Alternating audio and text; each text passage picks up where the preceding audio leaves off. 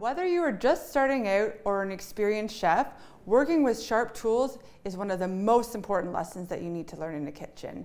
This video will give you advice on guiding your young chefs who are feeling confident and ready to start learning some of the other sharp tools that we use in a kitchen on a daily basis. In this video, we will address types of peelers, types of graters, scissors, and mandolins. If you're comfortable guiding your young chef through using a knife or a safe chopper, it is important for them to start learning about other sharp tools as well. There are two main types of peeler, a Y peeler and a swivel peeler. Both are great and can achieve excellent results. It just really depends on which you prefer. The most important thing for a young chef is to make sure that they're peeling away from themselves.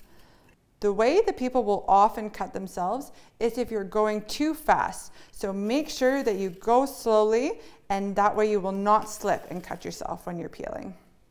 If a child cannot peel away from themselves, it is not appropriate for them to use a peeler. For example, children as young as four can use a peeler if you follow these instructions, but peeling a pear is more difficult and is more suited to an experienced child. Safety is more about the task than the tool. We use a couple of different types of graters at Growing Chefs, box graters and rasps. We love box graters because they have a lot of stability on a cutting board. Adults can help younger children by holding the grater for them. Always have them go slowly and watch their fingers. Rasps are a very fine grater that we use to grate objects like hard cheeses, garlic, ginger, or even zest citrus. They have very fine teeth, which can be very sharp and grate you too, so be very careful. And what I like to do is before a child gets to the end of using a piece of garlic, for example, take it away from them or you continue it so you make sure that you know that their fingers are safe.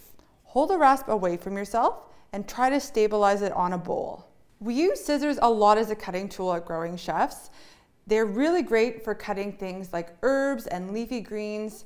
Always make sure that your young chef knows where their fingers are and cut slowly to avoid cutting themselves.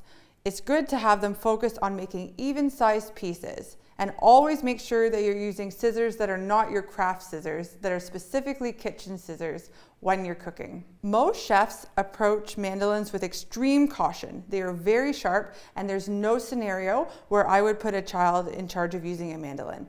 But if you're an experienced chef, they provide a great way of cutting things very thinly and very consistently. If you're comfortable using a mandolin, always use a flat palm and if possible, use a guard.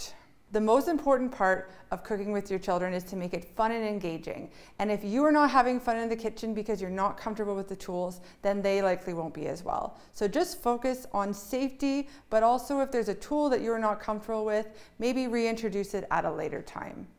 Check out some of our other videos for inspiration and have fun cooking.